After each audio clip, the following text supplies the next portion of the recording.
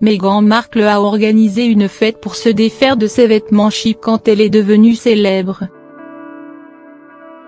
Meghan Markle n'a pas toujours été cette jeune femme qui arbore sans complexe des looks à plus de 1000 dollars. Cela peut paraître difficile à croire mais, il y a quelques années, l'ancienne actrice de suite arpentait les couloirs de Mango, H&M et consorts comme nombreux d'entre nous. Une situation qui est désormais bien loin derrière elle et auquel elle ne voudrait revenir pour rien au mode. Selon une source qui s'est confiée au magazine Vanity Fair, la duchesse aurait en effet donné tous ses vêtements chip une fois devenue célèbre. Et pour ce faire, la future maman a vu les choses en grand, à la manière d'un rite de passage. Elle aurait convié tous ses amis à une fête intitulée de façon non officielle Sionara Sara, un petit clin d'œil à la marque espagnole.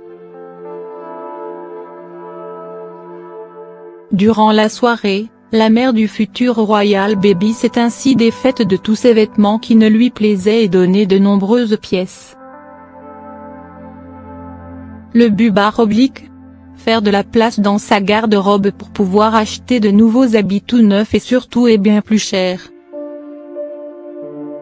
Car, on le sait, la duchesse est une véritable fashionista et ses looks, tous plus travaillés les uns que les autres, proviennent toujours de stylistes reconnus. Des tenues qui reviennent bien sûr un peu plus chères.